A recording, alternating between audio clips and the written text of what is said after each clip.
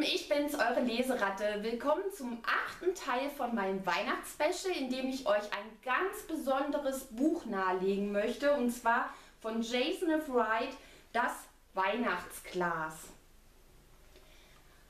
Ganz, ganz tolles Buch. Louis findet in einem Schnellrestaurant ein Findelkind, ein kleines Baby, was ausgesetzt wurde. Sie nimmt sich ihrer an, es ist ein Mädchen und nach vielen Behördengängen gelingt es ihr auch, dieses Mädel zu adoptieren.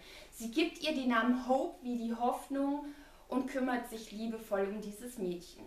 Hope wächst heran, wird eine sehr erfolgreiche Journalistin und als sie eines Tages nach Hause kommt, ist ihre Wohnung ausgeraubt worden.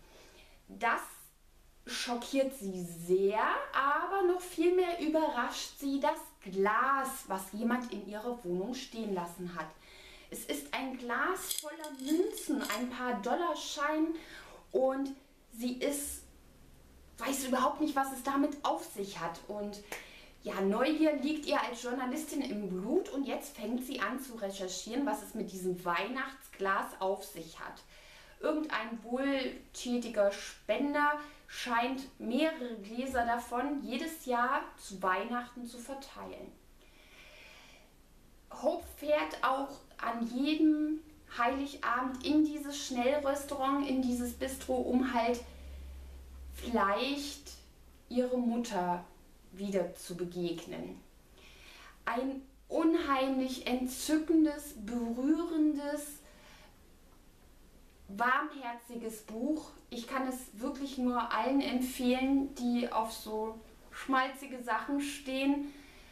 Meine Augen blieben am Ende nicht trocken und ja, ich fand es hinreißend, großartig.